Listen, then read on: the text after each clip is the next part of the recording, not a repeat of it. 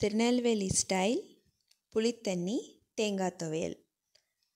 என்னோட ரொம்ப ஃபேவரட்டான ஒரு டிஷ்ஷு இதை நான் உங்களோட இந்த வாரம் ஷேர் பண்ணிக்க போகிறேன் திருநெல்வேலி ஸ்டைலில் புளித்தண்ணி தேங்காய் துவையல். எப்படி பண்ணுறது அப்படிங்கிறது தான் இந்த வாரம் லட்சஸ் கிச்சனில் நம்ம பார்க்க போகிறோம் எல்லாருக்கும் வணக்கங்க. லட்சஸ் கிச்சனில் நான் ராமலக்ஷ்மி. புளித்தண்ணி பண்ணுறதுக்கு நான் இப்போ ஒரு சின்ன நெல்லிக்காய் சைஸ் புளி எடுத்து ஊற வச்சுருக்கேன். அதுக்கு நான் ஊற வச்சுருக்க எடுத்துருக்க தண்ணி என்னென்னா அரிசி களைஞ்ச தண்ணி. அப்போ வந்து உங்களுக்கு இன்னும் டேஸ்ட்டாக இருக்கும். நான் இப்போ சொல்கிற அளவு வந்து ரெண்டு பேருக்கான அளவு. இப்போது அடுப்பில் சட்டி வச்சு சட்டி நல்லா சூடானதும் அதில் மூணு டேபிள் ஸ்பூன் நல்லெண்ணெய் விட்டுக்கலாம்.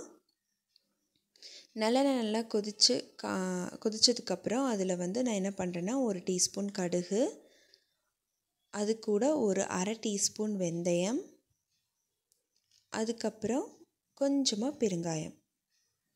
இது மூணு நல்லா பொரிஞ்சு வந்ததும் இது கூட கருவேப்பிலை சேர்த்திக்கலாம். இந்த புளித்தண்ணியில் வந்து உங்களுக்கு வெங்காயம் வேண்டாம் பூண்டு வேண்டாம் எதுவுமே வேண்டாம். டக்குன்னு பண்ணிடலாம். ஒரு ஒரு பக்கம் சாதம் வச்சு ஒரு பக்கம் புளித்தண்ணி பண்ணி நம்ம வந்து சட்னி அரைச்சி சாப்பிட்றலாம் இப்போது இதுக்கு காரத்துக்கு நான் வந்து ரெண்டு வரமிளகாவை கிள்ளி போட்டிருக்கேன். இப்போது நான் ஊற வச்ச புளி எடுத்து நல்லா இது பண்ணி தண்ணியாக கரைச்சி விட்டுறேன். இப்போது இதுக்கு தேவையான அளவு மஞ்சத்தூள் அப்புறம் தேவையான அளவு உப்பு போட்டு அடுப்பை மீடியம் ஃப்ளேமில் வச்சு பத்து நிமிஷம் கொதிக்க விட்டிங்கன்னா உங்களுக்கு புளித்தண்ணி ரெடி ஆகிடும் இது ரொம்ப ஈஸியாக செஞ்சிடலாங்க.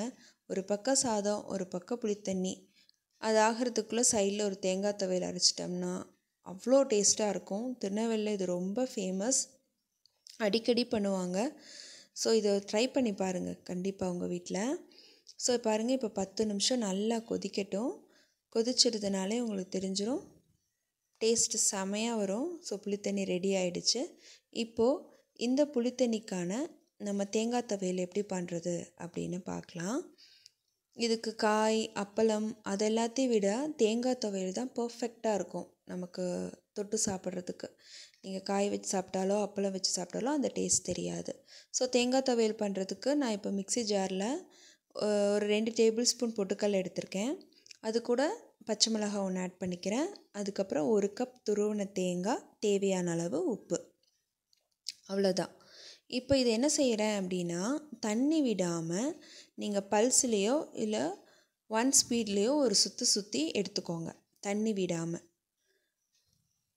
இப்போது தண்ணி விடாமல் சுற்றிட்டு இப்போ இதில் என்ன செய்கிறோம் அப்படின்னா ஒரே ஒரு பல் பூண்டு ஆட் பண்ணிக்கலாம். ஆனால் தோல் எடுக்காமல் அப்படியே.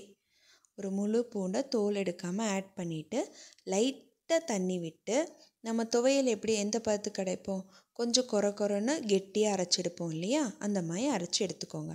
அவ்வளோதான் இங்கே பாருங்கள் தேங்காய் துவையல் ரெடி. ஸோ உங்கள் வீட்டில் இந்த புளித்தண்ணி தேங்காய் துவையல் வந்து சூடான சாதத்தோடு பரிமாறினீங்கன்னா அவ்வளோ டேஸ்ட்டாக இருக்குங்க.